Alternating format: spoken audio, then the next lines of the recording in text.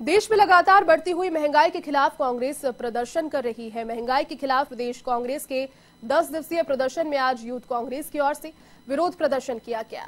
राजधानी जयपुर सहित सभी जिला मुख्यालयों पर यूथ कांग्रेस कार्यकर्ताओं ने विरोध प्रदर्शन किया। इस मौके पर हस्ताक्षर अभियान भी शुरू हुआ।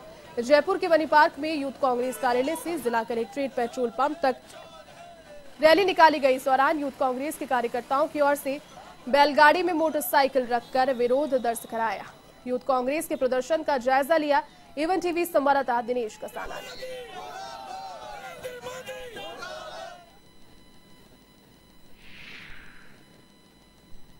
देश भर में बढ़ती हुई महँगाई और पेट्रोल, डीजल और रसोई गैस की लगातार कीमतें बढ़ रही हैं। उसके खिलाफ कांग्रेस लगातार धरने प्रदर्शन कर रही है।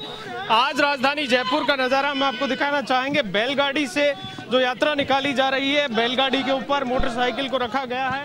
वो न केवल कोई माल ढुलाई बल्कि एक सिंबॉलिक तौर पर विरोध प्रदर्शन किया जा रहा है कि जिस तरह से पेट्रोल डीजल की कीमतें बढ़ रही हैं उसमें अब मोटरसाइकिल चलाना बहुत मुश्किल हो गया है।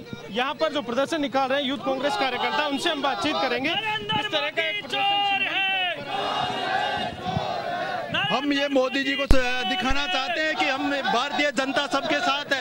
ये देश में अन्याय नहीं होने देंगे। लगातार लगातार महँगाई बढ़ रही है। चाहे दाल देख लो, डीजल देख लो, रसोई गैस देख लो। लगातार सबके दाम बढ़ते जा रहे हैं। आम आदमी का जीना मुश्किल हो रहा है। हम आम आदमी के साथ है, कांग्रेस पार्टी आम आदमी के साथ है। कांग्रेस पार्टी का हर एक कार्यकर्ता आम आदमी के साथ है। सर, कोरोना से ज़्यादा तो महँगाई मार रही है लोगों को। कोरोना घातक है, पर उससे ज़्यादा नरेंद्र मोदी कोरोना महामारी में जिस तरह से महँगाई बढ़ रही है, यूथ कांग्रेस की ओर से आज राजधानी जयपुर में ये बैलगाड़ी से यात्रा निकाली गई है, जिस पर मोटरसाइकिल को रखा गया है और इसके माध्यम से लगातार प्रदर्शन किया जा रहा है। यूथ कांग्रेस के साथ मेन कांग्रेस और एनएसयूआई महिला कांग्रेस की ओर से भी लगातार प्रदर्शन किए जा रहे हैं और केंद्र सरकार से मांग की जा रही है।